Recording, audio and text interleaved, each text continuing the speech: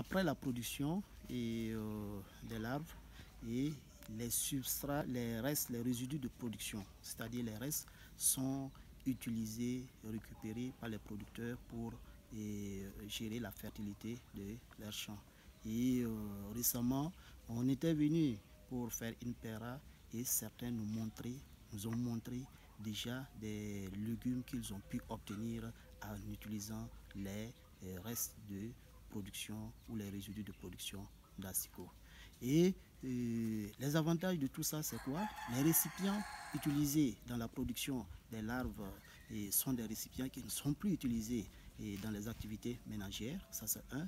En plus de ça, les substrats qui sont utilisés, pour le moment, ce sont des substrats à, bas prix, des substrats que nous pouvons euh, avoir un peu partout.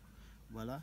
Et euh, comme autre avantage, au niveau des, des piégeages des termites, comme vous l'avez vu, et avec Thomas, les résidus, les restes de morceaux de bois ou les restes de, noyaux de mangue qu'ils les restes des noyaux de mangue peuvent être encore utilisés dans cette production ou dans, cette, dans, ces, dans ces piégeages de termites. Voilà.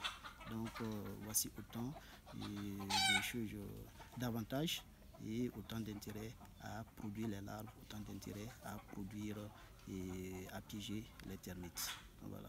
Et c'est vraiment de bonnes sources de protéines et qui sont utilisées en tout cas dans la nutrition aviaire et qui pourraient en tout cas remplacer ou qui, remplacer la farine de poisson et le soja qui sont des sources protéiniques importées. Voilà.